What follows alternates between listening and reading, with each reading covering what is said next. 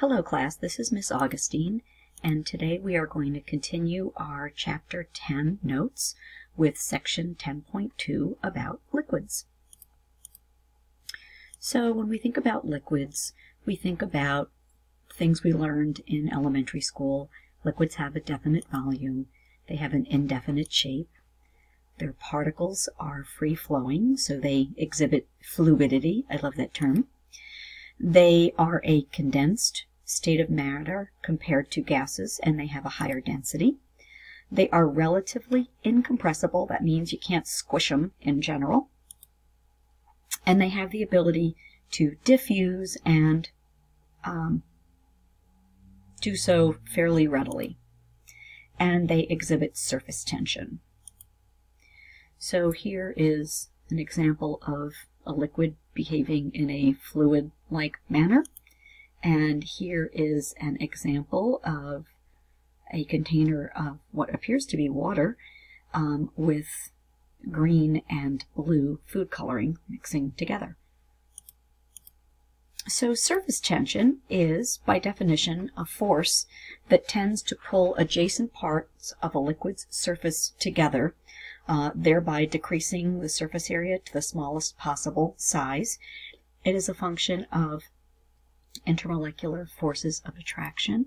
And again, it's what will cause bugs and leaves to walk on water in the case of bugs, or for leaves to float on water. Hopefully leaves aren't walking on water, but who really knows? And it also is what causes droplets to form.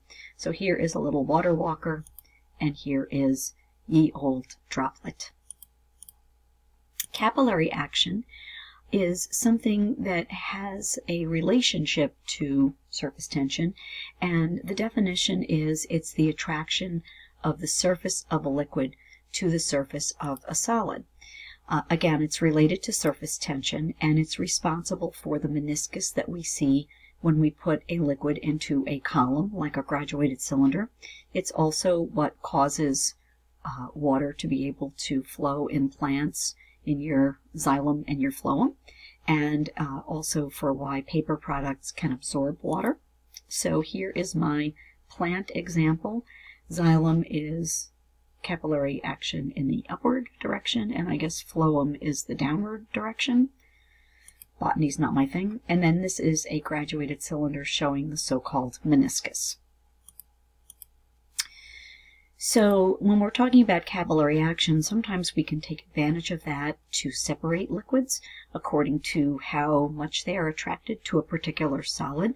So at the junior high, you may have done paper chromatography using plant pigments, and later this year, when we get to solutions, we will hopefully have a chance to do that. And again, this is an example of paper chromatography, separating out uh, colors uh, according to a, the affinity for the paper, and B, often the molecular mass of the particular dyes involved. And this is what that would look like on a real strip of chromatography paper. Um, vaporization is another term we think about when we think about liquids, and by definition, it's the term that's used for the conversion of a liquid to a gas or vapor below its boiling point.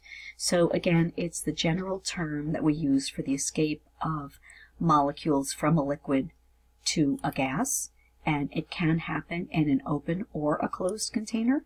So here you're seeing vaporization over what appears to be a pond of some sort. So again, when we talk about at the surface only, we would talk about evaporation. Um, vaporization, as I said, is that general term that when you see a puddle getting smaller and you know that the water is evaporating, that is not in a boiling liquid. So anytime it's below the boiling point of the liquid, it's called vaporization. Evaporation is more specific. It's the process by which particles escape from the surface of a non-boiling liquid and enter the gas state. And so when we talk about evaporation, we talk about it taking place only at the surface. And again, this is an example from our old water cycle stuff.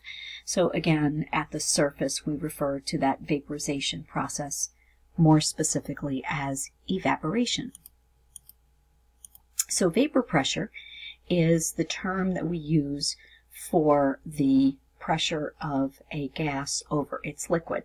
So when you have a liquid, there's always some amount of particles that are escaping to the gas phase. How does that happen? They're absorbing energy from the surroundings. They get enough energy to go from the liquid phase to the gas phase, again, vaporization. That's occurring because they have enough kinetic energy to overcome whatever intermolecular forces of attraction are at play, and that results in a pressure of that vapor. So again, the particles are entering the vapor phase. Some of them may condense back, uh, particularly in a closed container. And again, when you think about anytime you open a can or bottle of soda and you hear that sound, that is the vapor pressure that has built up over the surface of the liquid escaping. And there's my Coca-Cola. So that is all I really wanted to say at this point about liquids. Stay tuned for section 10.3 notes soon. This is Ms. Agostine signing off.